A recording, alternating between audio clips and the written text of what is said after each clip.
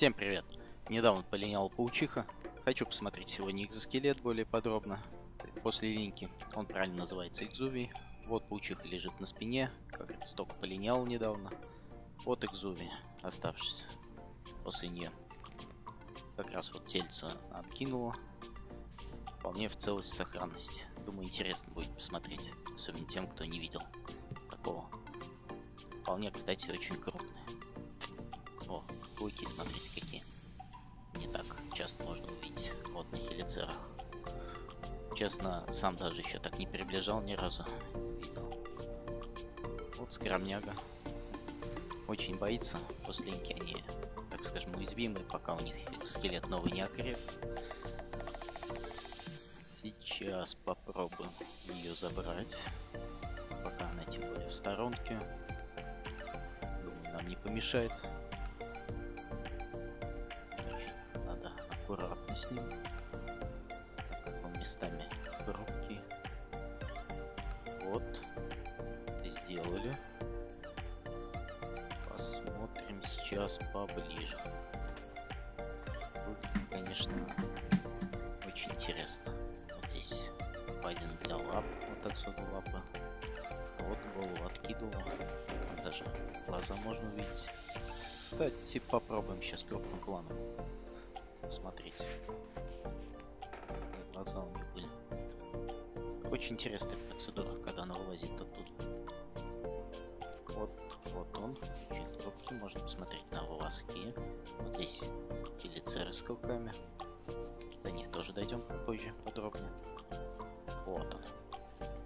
Тоже давно хотел посмотреть на глаза. Выглядит, конечно, что-то необычное, инопланетное. Так, сейчас попробуем здесь. Во. Во. Вот это интересно. Честно, сам думал, что их 6. Тут получается 8. Вот скажите, видали хоть раз такой вблизи?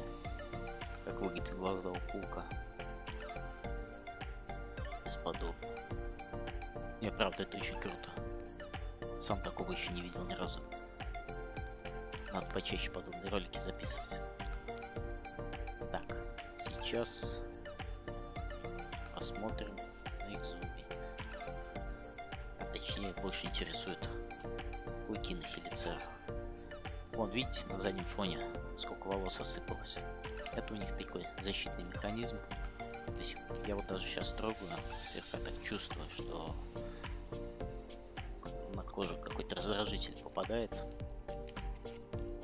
пауки как раз э, счесывают эти волоски, которые поднимаются в воздухе, если, предположим, какой-нибудь хищник, там кошка подойдет к нему, и сразу после счесывания волосков они попадут в носовые пазухи, то есть очень неприятно, очень будет чесаться, доставлять дискомфорт. Так что, когда паука на руках подержите, тоже такая же ситуация.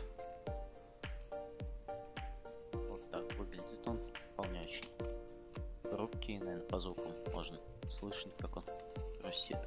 Сейчас попробуем достанем. Просто самому интересно, если их раскрыть, какой не длины все Острый ли он? Острый. Потому что кильцеры у них такие мощные там мышцами, что ли назвать. Которые прям прокусывают свою жертву. Пускай. О, получилось. Так, сейчас попробуем. Вот так выглядят они примерно. Сняли сенсоры. Да, вот там прям ставится как мышцы у них. Скрипает след просто как панцирь. Экзоскелет. А вот интересует вот это. Сейчас надо как-нибудь подцепить. Конечно, это будет не получается сейчас. Сейчас сделаем. Потому что самому очень интересно.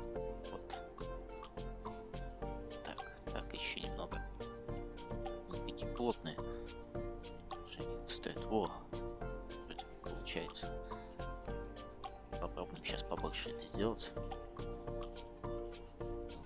Она прям даже, считай, без паука загибается было. О, такой длины. Вот, посмотрите, насколько может воткнуть она в жертву.